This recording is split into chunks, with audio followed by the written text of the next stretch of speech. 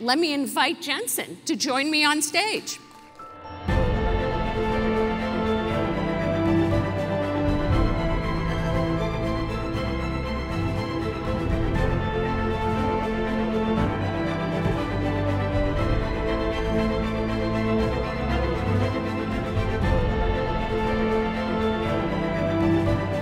Wow, look at this crowd.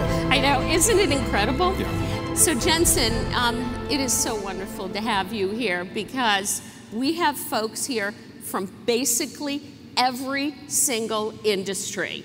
It's governments, telecommunications, retail, you name it. And all of them want to hear from you about what's possible for their business. How do they go about really harnessing this technology? And what do you see in the future for the incredible capabilities your products bring and we bring together? Yeah, Safra, these are, these are incredible times. Uh, on the one hand, uh, we're seeing the slowdown of traditional compute scaling limited by physics. And this is making it more and more difficult for customers, all of us, to do our computing at an ever decreasing cost and ever decreasing energy consumption so that we can do more. That fundamental trend has been foundational to the computer industry for as long as we've been in it together.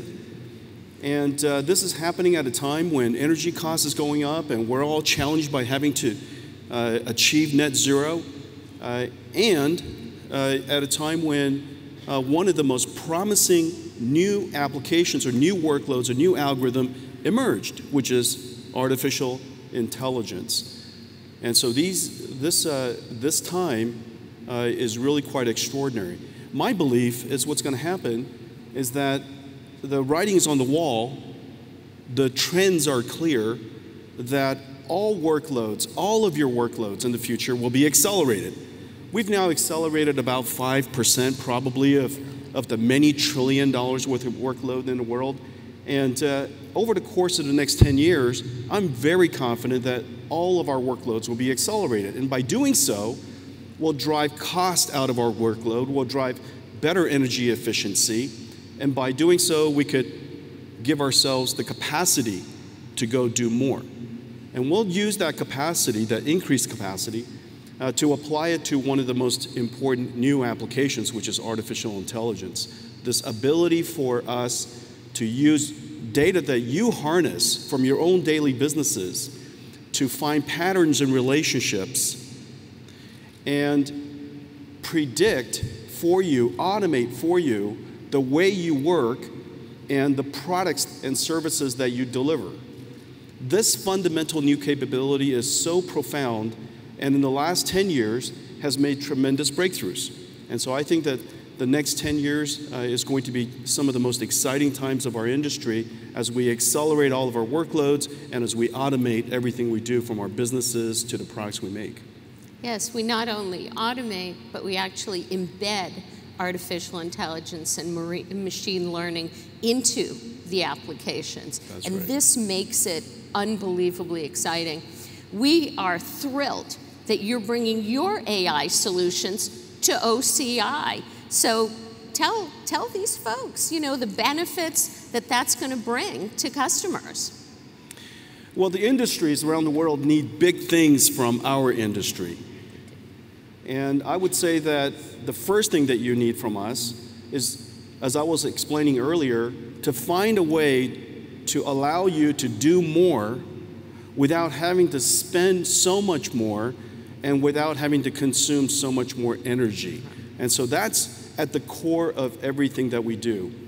Well, in order to make that happen, there are four things I would say that the two of us uniquely bring. The first part, of course, is that data is at the center of the way that we develop software in the future, and Oracle's heritage and expertise in data, data storage, data provisioning, data processing is foundational.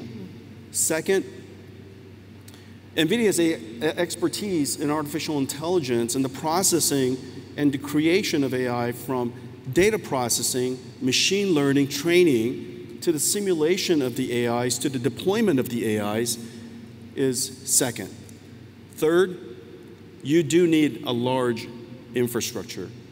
The fact of the matter is, in order to, to create these AIs, in order to train and develop these AIs and deploy these AIs, you need infrastructure.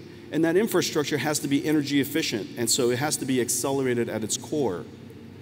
This is the reason why our partnership and OCI's giant investment in deploying large scale accelerated computing from its cloud is so foundational. Third.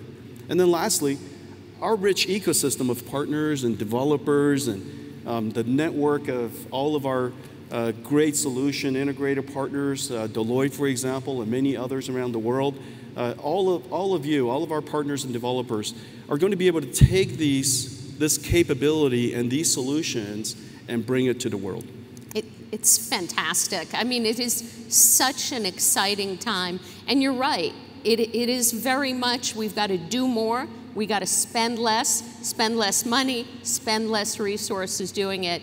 And the fact that there's low cost computing available and huge amounts of data to train the algorithms. This is, this is this moment we've all been dreaming about really for decades since we started to do AI work in the, in the old system days. Now, one of the places where as much as making shopping more efficient and routing trucks better and all those things are, are great, but really, one of the most critical areas is saving lives. And so let's talk a little bit about healthcare and how you can use these technologies to really do the most important thing save lives. Yeah, our partnership, one of the one of the industries, or the industries, healthcare and life sciences will benefit tremendous, tremendously from accelerated computing, artificial intelligence, and the work of our partnership. You know, over the course of the last 10 years, uh, as we've been deeply involved in, in advancing artificial intelligence, uh, some, really, some really amazing achievements have been made. Uh, you know, the breakthroughs in computer vision has made it possible for uh, transportation to be completely, utterly revolutionized. And in the future, in 10 years' time, the automotive industry is no longer going to be a car industry, an industry, and a classical industry but a tech industry. And all of those cars are going to be, they're going to discover their smartphone moment. And their business will be transformed. Of course, we're seeing this in all, all over the place. Uh, we're seeing uh, giant breakthroughs in natural language understanding and speech AI and conversational AI, and this breakthrough in large language models that is able to encode human knowledge uh, so, so incredibly into a, a model that you can then apply to all kinds of new skills that it was never trained to do. Well, this, these breakthroughs, these breakthroughs have led to some giant new opportunities and what I believe will be the digital biology revolution. The, the coming together of life sciences and biology and computer science will transform what was historically a science driven industry in the future, science plus engineering driven industry, you're going to see incredible advances. And so, if I could just say one more thing that, that uh, you mentioned earlier, the work that we do together, NVIDIA has a platform called Clara.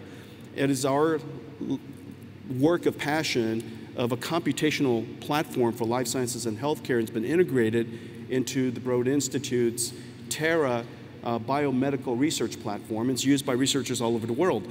And one of the things that is really amazing, because of AI, we can now use AI to understand the language of proteins and chemicals, all the way through gene sequencing, all the way through uh, the ability to do virtual screening by teaching an AI computational or quantum chemistry.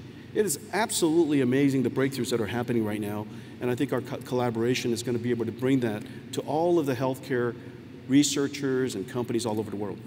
With that, thank you. Thank you for what you're doing. Thank you for partnering with us so fabulously. And what a joy. Look at this guy. Thank you.